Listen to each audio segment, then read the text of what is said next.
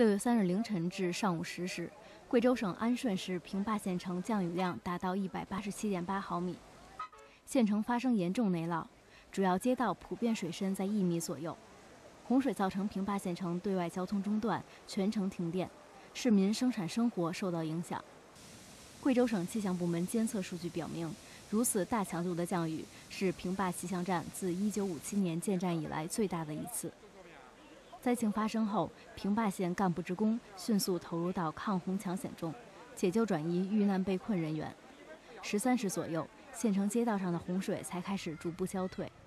平坝县救灾救济。隐患排查、道路疏通、供给保障等工作加紧进行，进出城车辆缓慢通行，县城供电陆续恢复。平坝县二十时三十分最新数据表明，这次洪灾致使平坝县城沿街商铺两千八百余间被淹，十户三十一间房屋倒塌，共转移群众三点五万人。初步统计，全县经济损失十四亿余元，需救助人口二点三万。